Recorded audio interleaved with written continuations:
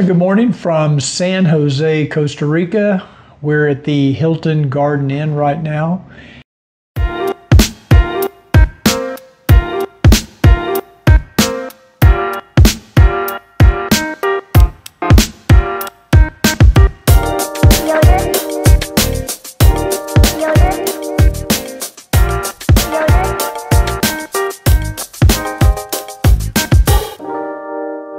This is the morning after our pre-cruise night. We flew into San Jose yesterday. Our flight from DFW to San Jose was scheduled for 10:20 a.m. and it did leave on time.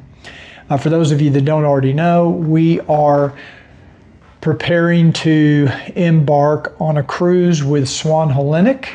This is our first cruise with the new Swan Hellenic. I'll describe what that means by new Swan Hellenic here uh, a little later on in this series. Uh, basically, we're going to be meeting up with SH Diana, which is their newest ship, and that will be in Puntarenas. But that's about two hours, I believe it's south of San Jose. I'm not sure if it's south or north, but it's two hours away. So uh, Swan Hellenic arranged for pre-cruise hotel, which is at the Hilton Garden Inn here in Santa Ana, Costa Rica, which is kind of just outside of San Jose. And we flew in about 1.30 yesterday afternoon. We got here. Uh, the flight was uneventful. It was okay. We did upgrade to business class on American Airlines. It was an older Boeing 737-800 and honestly, uh, it was showing its age. Uh, the service was kind of hit and miss. We didn't get any pre departure drinks. Once we got in the air and got going, uh, they did come around and offer some drink service. We each had a glass of sparkling wine. It was good. And they brought us some nuts, you know, before the meal service. Now, one thing American has done is they have kind of upgraded their meal service apparently since the last time we flew business class on American, which was back in 2023. And now you can pre-select a meal online before your flight. I, I picked a, like a beef short rib, and Ricky had like a cheese and fruit plate, and both were very good. So I was very, you know, the food was fine. You know, okay as far as that goes. The flight attendants were pretty nice. You know, they're okay. Uh, it wasn't over the top service or anything, but we did get into San Jose on time. And then we got through immigration and through baggage claim relatively quick. Uh, there were a couple of airplanes disembarking about the same time there at the airport, so we had to we had to stand in line to get to the immigration officer. I think within about 30 minutes we were through immigration. Uh, baggage claim came bags came off pretty fast we get our luggage and we go out, exit out the airport, and we're looking for someone to greet us from Swan Hellenic. We did locate the gentleman holding the sign. Uh, they work for another company. It's like a, a transportation services company that Swan Hellenic has contracted with. And uh, he basically said, you know, just stand over to the side and we have some other people we're waiting for. And I think he initially told us we were waiting for five other people, and then later that changed to nine other people. That took about an hour. Uh, it was pretty long standing up there at the airport waiting. There was no there was no place to sit. They did have some benches outside.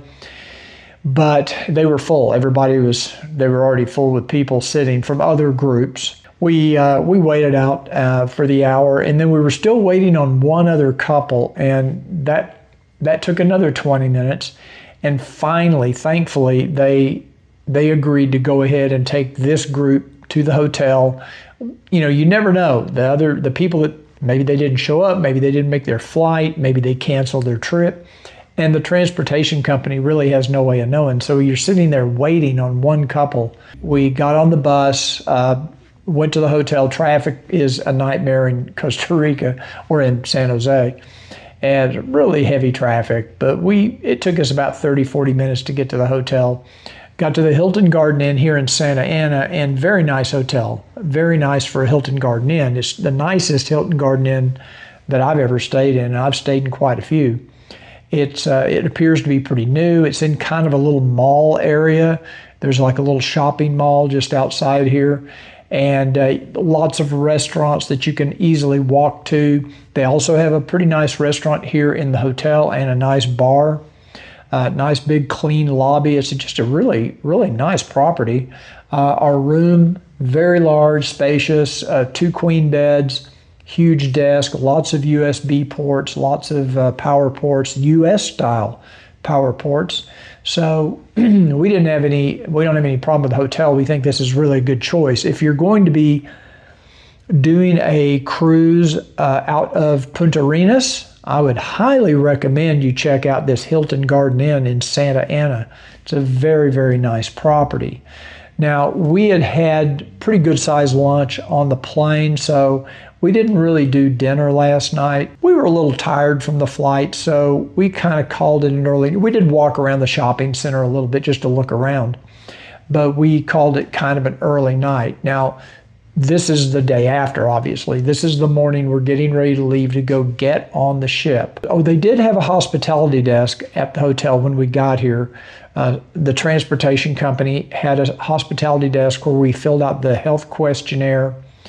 We also got our room key and uh, they have a schedule on a whiteboard telling us what time to put our luggage outside of our hotel room and somebody will come by and collect the luggage. We won't see the luggage again until we get to our stateroom on the ship which is nice. Now we will identify our luggage down in the lobby before we depart uh, they also are including breakfast. This hotel, they we do have a breakfast package, so we do. There's a nice buffet breakfast downstairs. After we identify our luggage, make sure everything's down in the lobby where it's supposed to be, then we'll board the bus for the two-hour drive to Puntarenas. Now they did tell us there's no stops along the way. I don't even think they're doing a bathroom stop. I think the plan is we will be getting to the ship around three o'clock that's when embarkation begins, and that should be about the time we arrive because, it, like I said, it's a two hour drive.